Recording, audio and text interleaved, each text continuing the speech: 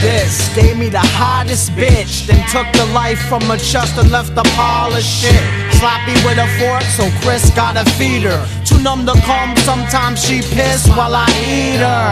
I tell her keep her head up. Even though I gotta hold it up for her and she seizure when she try and get her. I know I'm irking her, but can't stop what's hurting her. No sleep with her screaming all night, I'm thinking of murking her. Her parents paid for the coffin and left state after signing a contract. Do not resuscitate. Yelling for mommy, I dip in the morphine to calm me. I'm known in town as the creep that's in the zombies.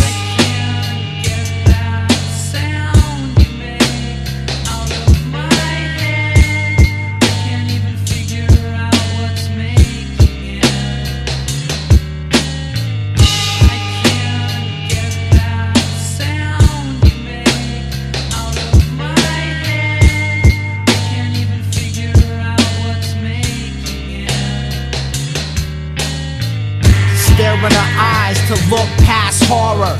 Morphine tolerated, I'm out copping horse tranq for her. Like I won't have to go through hell again. Her skin is like saran wrap, barely hanging from her skeleton. With each one of her ribs defined, my crib's designed to keep the light out, cause she can't lift the blinds. Drifting behind, I'll be out of friends soon. Nobody, cause it's the guy that keeps the body in his bedroom. Barely alive and taking life from me with no appetite, but the meningitis is still hungry. Wants to make love, but I had to substitute it with holding hands while we take drugs.